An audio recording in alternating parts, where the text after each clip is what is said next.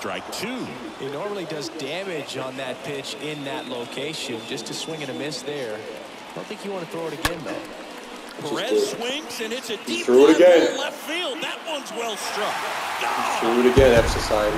Salvador Upper deck Perez it. leaves the yard, and they jump ahead in the second. It's one nothing. Now batting Mitch Haniger. Batting seven. The right Well, this ball is crushed into left field. It's on its way and gone. Back to back pitches, back to back home runs. Mitch Haniger leaves the yard, and they boost their lead. It's 2 nothing.